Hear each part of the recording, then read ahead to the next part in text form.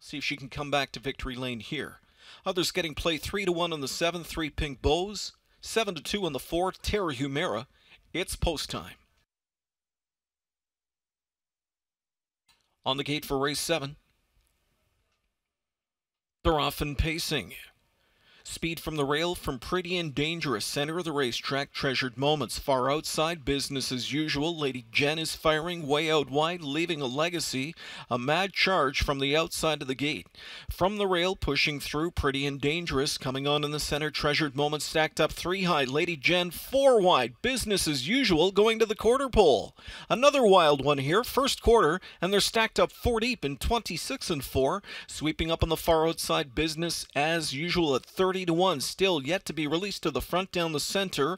Lady Jen from the rail, treasured moments. Back there, fourth, Pretty and Dangerous took back. Parked out from in fifth is leaving a legacy. Sixth locked up is Sophie Blue. Seventh towards the cones, pretty hot.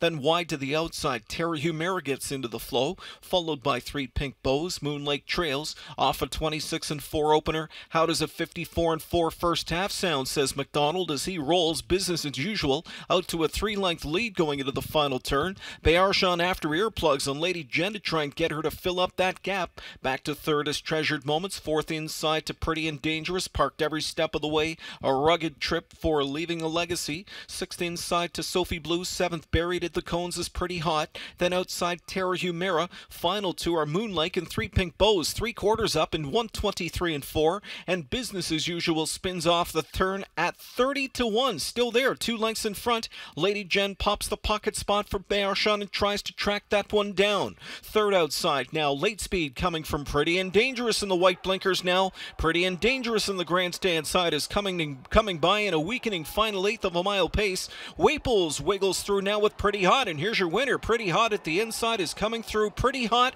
at 11 to 1. Post the score. Second best was Sophie Blue, was tight for third in 154.